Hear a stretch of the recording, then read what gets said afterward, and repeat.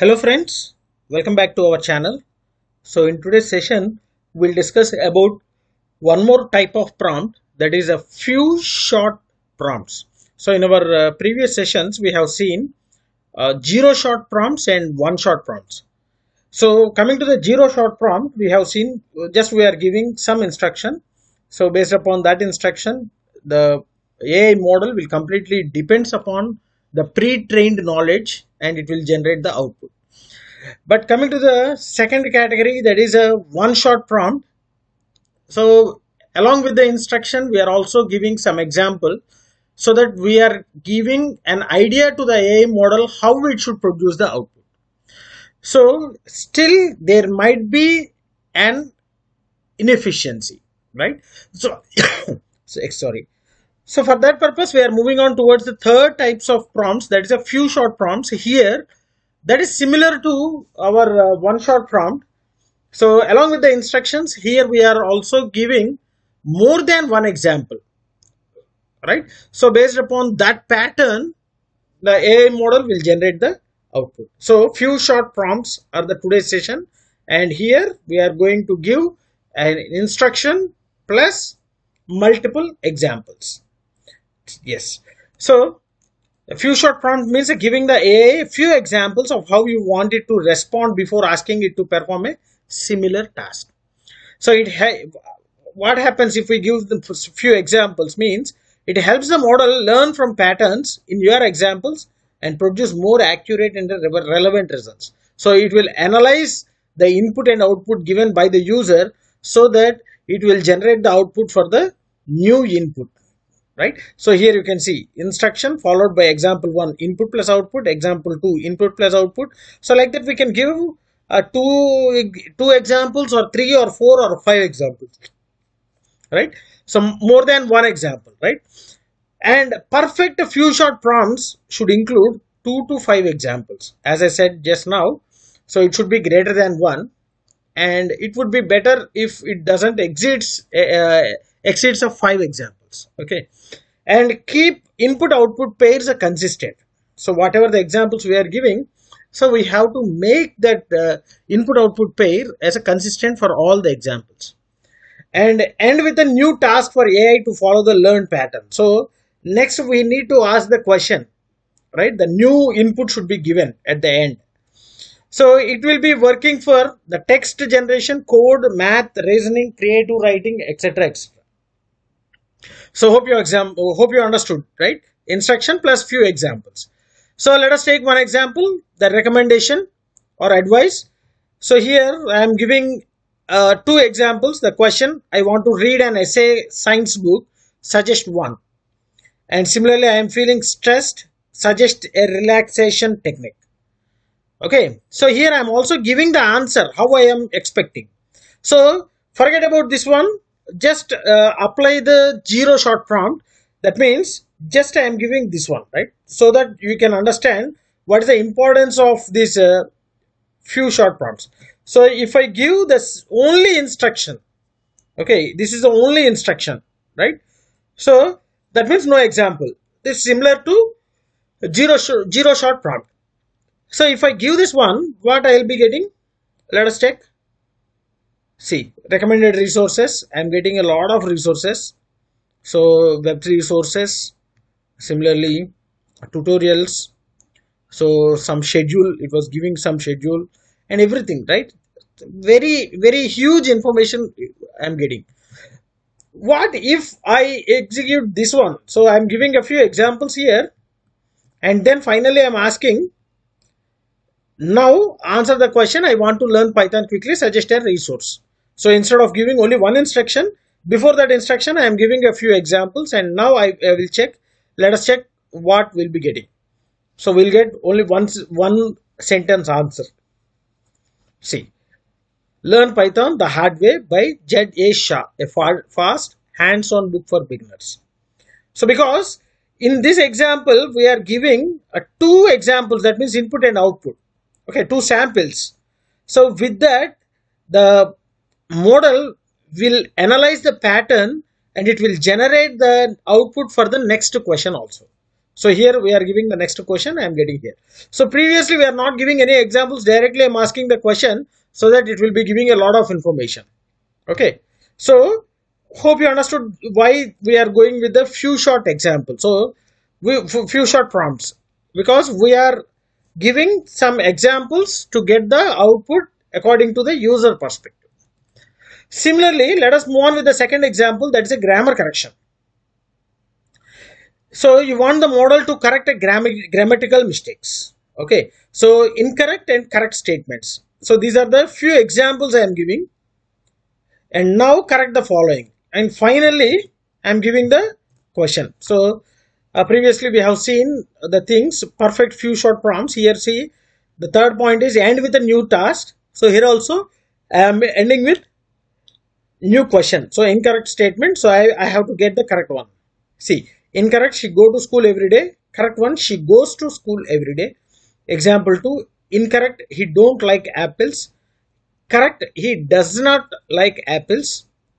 Incorrect they was playing football and correct is that they were playing playing football and now correct the following statement she were reading a book now i'll get the correct one based upon the previous example see the correct one is she was reading a book.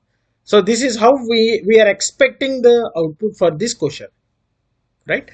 Yes. So let us go on with the third one, categorization. So if you want to classify types of animals, for example, see I am going, I, I'll give the animal as lion. So what I am getting? I'll get a lot of information regarding lion, right? So very much information. Now, I just want the category of that particular animal. So, see, I am giving few examples. So, if I give the lion, I just want the output as wild animal. If I give cow, I just want to get a, a output as a domestic animal. I, if I give dog, I need to get it as a domestic animal. Now, if I give tiger, what is an output? Okay.